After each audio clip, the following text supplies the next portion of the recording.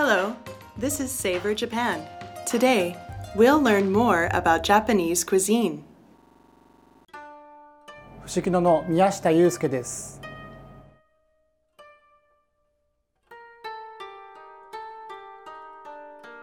Do you know what Japanese sake is like?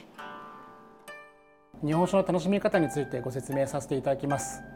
日本にはあの全国各地いろんなところのお酒がありますけれども、その楽しみ方の一つとしてぜひあのおかんも楽しんでいただければと思います。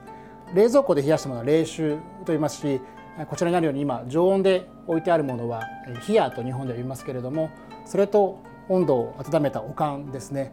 おかんにすることによってお酒の甘さが引き出されたりあるいは酸味がまろやかになったりさまざまな味わいの変化が起こりますそういった変化も合わせて料理とのペアリングを楽しんでいただけると非常に面白いと思います。あと日本にはいろんな焼き物があります。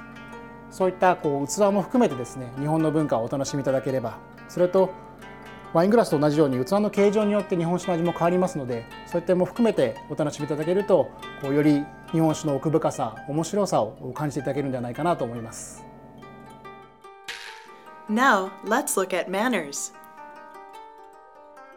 それではお酒を出しさせていただきます。失礼いたします。ああのもしよろしければですけど指輪を外すことはできますか？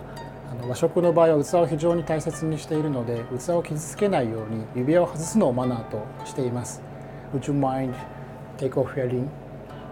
Thank you. お酒を注がれる時はワイングラスの場合は基本的に置いたままなんですけども日本酒の場合は器を実際に手で持って受けることをマナーとしています。Please hold your glass. Thank you.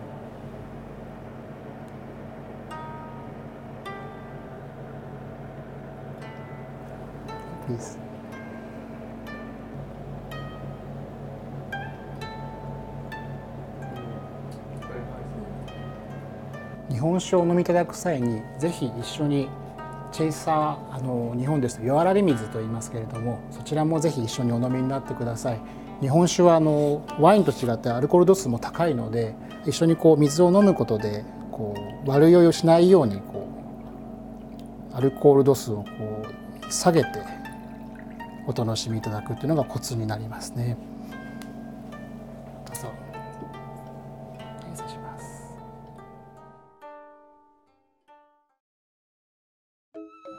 So learning the Japanese sake culture and the manner was really good experience. How do you think? Yeah, thank you very much for the opportunity. And um, as you said, it's a very good experience, very interesting to learn more about um, Japanese food culture in general and drinking culture. Everyone visit the uh, saberjapan.com. How did you like it? Discover real Japanese cuisine. SavorJapan.com.